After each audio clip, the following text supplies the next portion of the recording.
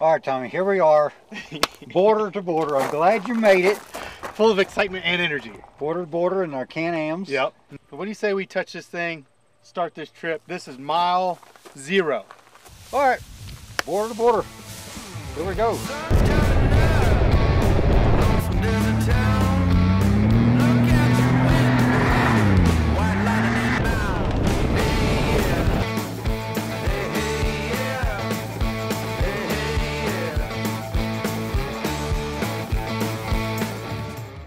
Got to go 120 miles. Know, we keep climbing. I'm like, we can't get no higher. We're in the clouds. It's spitting snow. It's a little cold, but we got rain gear, so that kind of keeps the heat in and the wind out. So I don't know. It's a good time. It's all the elements. I'll say that.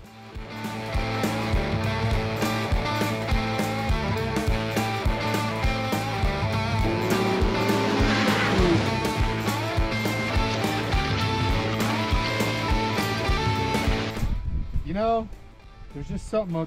It's just not right. Let me let me fix it. Perfect.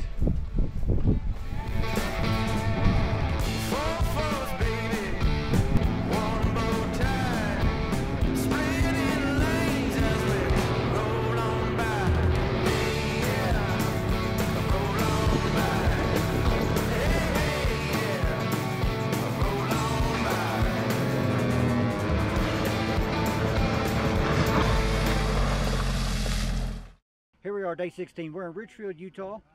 And just so happens while we're here, there's the Rocky Mountain UTV Jamboree going on. So we got with local guides. We're following a local ride today, just kind of see what they have going on here. Uh, guided ride. It's going to be a great time. Probably only getting dustier because the rain is gone.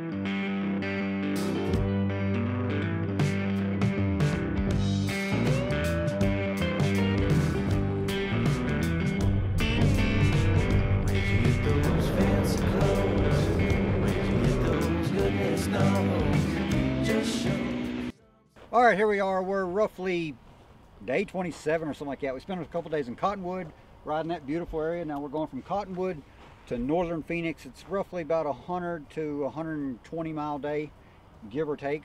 We're going to be up in the mountains, kind of the high desert, and then we'll drop down into the valley area where Phoenix is. Just stay calm and follow me. Yes, sir.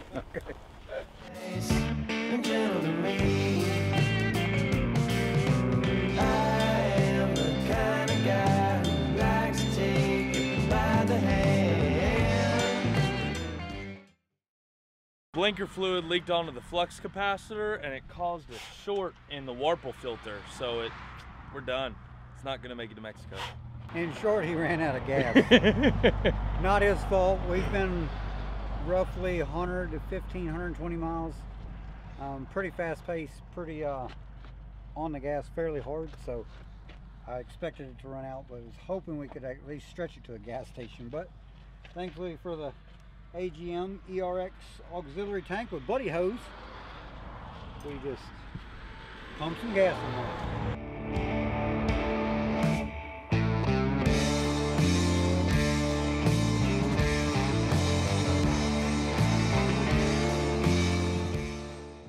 All right, here we are, October 8th, last day of the ride. We are at the Mexico border.